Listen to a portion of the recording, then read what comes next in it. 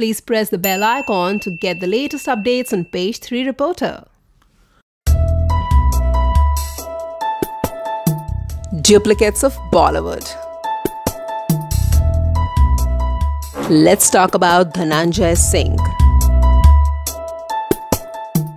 The doppelganger of He-Man of Bollywood, Dharmendra.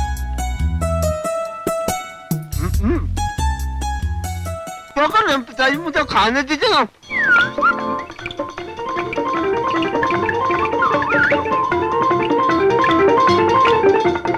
Dhananjay Singh is a famous politician in Uttar Pradesh. He is known as Bahubali.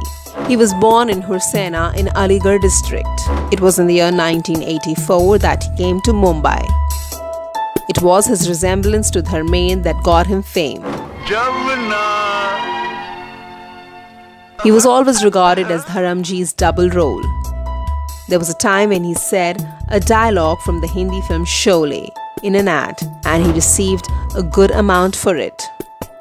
Dhananjay always wanted to be an actor, but it is being the double of Dharmendra that actually got him work and fame. He was seen in films like Sanyasi Mera Naam that starred Mithun Chakravarti. He was also seen in a song sequence from the film Om Shanti Om. And he also appeared in television shows like Boogie Woogie and Ye Chanda Kanoon Hai.